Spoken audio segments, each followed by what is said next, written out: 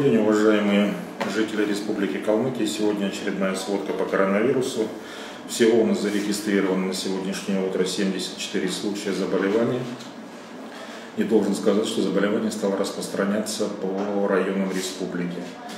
Помимо того, что случаи регистрируются из тех, которые контактируют с нашими местными жителями, показательны в этом плане будут ситуации, которые возникла в Ешалкинском районе.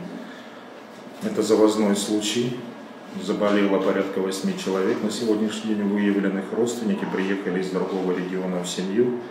И вот мы получили вспышку коронавирусной инфекции на территории Ешалкинского района. Аналогичный случай произошел в Печенеровском районе, когда один из жителей выезжал в другой регион, потом вернулся и тоже приехал с коронавирусом. Поэтому в первую очередь хочу обратить внимание сегодня медицинских работников на ситуацию в республике. Сегодня практически все медицинские учреждения во всех районах республики вступили в борьбу с коронавирусной инфекцией. Это Ешалкинский район, Городовиковский, Черноземельский, Сарапинский, Киченеровский. Зарегистрированы случаи заболевания в Целинном районе. И я думаю, что аналогичные случаи будут зарегистрированы рано или поздно во всех районах республики. Поэтому, уважаемые медицинские работники, которые сейчас входят на работу в госпиталя, прошу обратить внимание на средства индивидуальной защиты. Здесь не может быть никакого геройства. Здесь именно та ситуация, когда именно педантичность и скрупулезность позволят вам спокойно работать и спасать жизнь нашим землякам. Поэтому в первую очередь я хотел бы, чтобы вы очень внимательно и тщательно относились к тому, как вы входите в грязную зону. Не надо это делать по одному. Обязательно контролируйте друг друга. Все ли тщательно завязано, все ли тщательно застегнуто. Абсолютно спокойно воспринимайте замечания своих коллег, потому что только заботясь друг о друге, вы сможете защититься от этой непростой инфекции. На сегодняшний день не меньшее внимание нужно обратить на выход из грязной зоны и переход в чистую зону. Потому что от того, как вы проработали, от того, как вы одеваетесь и раздеваетесь, зависит очень многое. В чистой зоне, куда вы вернетесь после работы с пациентами, вы должны четко понимать, что ни один из вас в чистую зону не принес инфекцию. Потому что здесь должен быть понимание полного доверия и ответственности каждого сотрудника, который работает с вами сейчас рядом. Поэтому прошу вас быть очень внимательным. Главным врачам районных больниц, и не только районных больниц, а всех больниц, прошу еще раз проверить наличие средств индивидуальной защиты, обеспечить их полностью свой персонал, потому что именно от организации работы сейчас зависит очень многое. На долю каждого поколения медицинских работников выпадали какие-то испытания.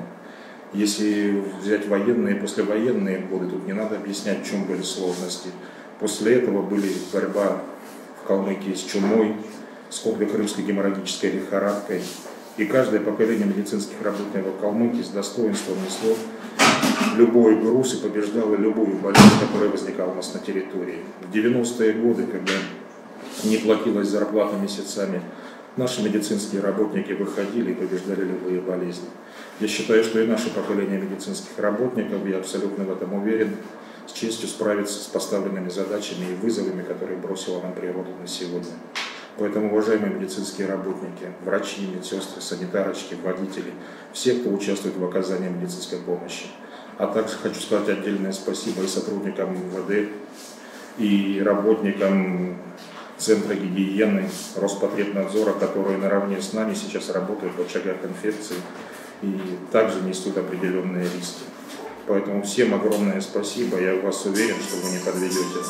Сейчас бы мне хотелось также обратиться к населению и к руководству тех районов, в которых сейчас идет рост заболеваемости. Уважаемые жители, максимальное разобщение, максимальное соблюдение противоэпидемического режима значительно облегчит нам на сегодняшний день оказание медицинской помощи, значительно облегчит работу сотрудников.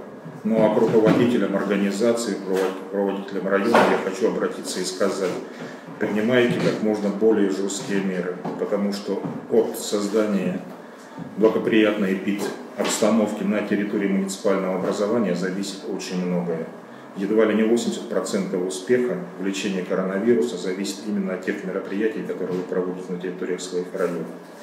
Китаю, одному из первых удалось победить коронавирусную инфекцию, И в своих отчетах, которые они сейчас печатают, на первом месте, которое они говорят по значимости мероприятий, которые привели к этой победе, это в первую очередь жесткая дисциплина и разобщение потоков населения. Именно этот фактор сыграл решающую роль. Именно этого мы должны добиться на территории нашей республики. Поэтому сейчас победа куется сообща медицинскими работниками, которые работают в учреждениях, но и не меньше ответственность лежит на вас, те, которые работают вне медицинских учреждений. Не меньше ответственность лежит на каждом жителе республики. Будьте бдительны, защитите себя от заражения, защитите своих стариков. С печалью должен отметить, что мы потеряли еще одного пациента, это тоже возрастной пациент с сопутствующими заболеваниями. Коронавирус собирает свою страшную жатву, и наиболее уязвимы к нему наши старики.